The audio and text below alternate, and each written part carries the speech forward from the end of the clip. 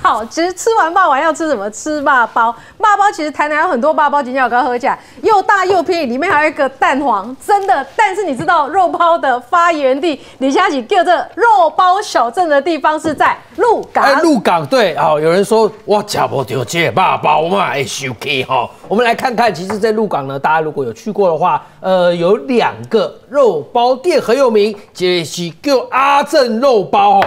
这阿正肉包，我们来看一下郑老板哦，他讲了，其实他们家一开始不是做肉包哦，他们本来家做糕饼，但是呢，后来啊，他因缘际会，他决定了开了，他说了，当时哦，全台湾呢没有一个人专门在卖肉包的，嗯，所以他就开了全台湾首间。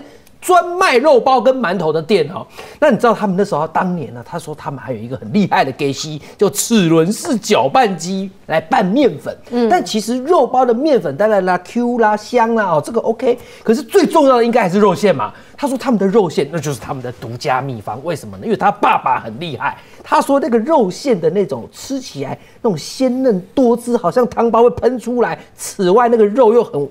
味道又很鲜美，是谁做出来呢？就他爸爸跟他的师傅，好，他有个师傅呢，跟他爸爸合作开发了这个肉馅的独门的这个呃口味哦。好，那这个因为他们在。我们讲的鹿港当地很有名嘛，结果呢也惊动了很多的这些观光客来朝圣啊。但是有个观光客非常特别啊，慧明，一九九八年说来接李本郎哦，叫小林。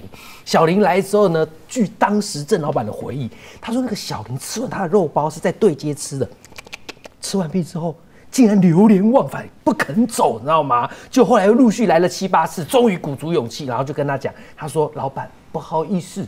我很想拜你师学艺，我想学怎么做肉包。嗯，好啊，那老板那时候当然没有答应他哈，没想到哦，他锲而不舍哦，好像成龙武功片一样。圣诞节当年，圣诞节竟然带着他的全家人，还有岳父岳母，不，这是怎样？是要举家移民吗？全部来哦，来跟他讲说，拜托你要教我。其实他说他那时候回忆，那个日本人小林的爸妈其实很反对，你这样学要学多久啊？好，可是呢，后来他们因为相谈甚欢，然后但是他还是没答应，就到我们讲啊，这个呃三顾茅庐嘛，到十二月三十一号，小林又来了，这回他答应了。你知道答应之后，小林来学包子学多久吗？三年半。三年半之后呢，他后来回东京去开店，等于是把阿正肉包的口味带到我们讲鹿鹿港肉包口味带到了东京去，轰动啊！哈。大大排长龙哦！你看我们的阿正肉包，鹿港的肉包可以名扬到日本去哈。但是呢，另外一个肉包店叫做老龙塞，这个肉包也有人家阿龙斯啊，哈，老龙斯都有，它的口味也很特别。为什么呢？因为这个呃做包子的这个私信老板呢，他以前真的在一间台湾很有名的糕饼店做过师傅啊。那后来他做完毕之后，他就跟着爸爸北上去卖牛舌饼啊。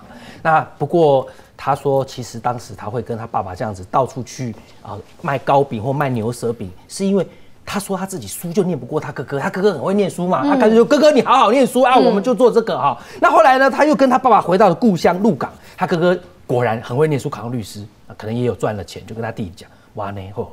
你现在跟老爸回到鹿港的话，那我拿一百万给你们买房哦，就拿一百万投机款。他当初卖的那些糕饼或者是牛舌饼的钱，他也会供他哥哥念书，兄弟感情真的很好。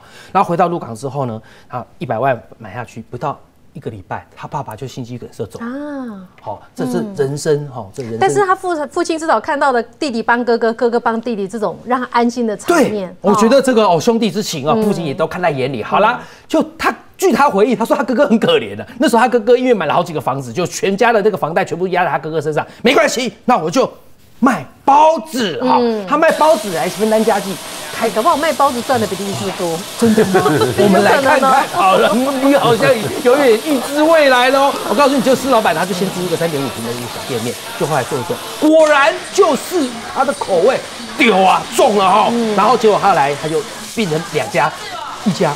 两家，我们来看哦。现在他们说入港的包子市场厉害，三国鼎立啦。第一个就阿珍肉包，第二个呢老龙塞肉包，第三个呢就其他的肉包，各占三分之一，不厉害不？不厉害。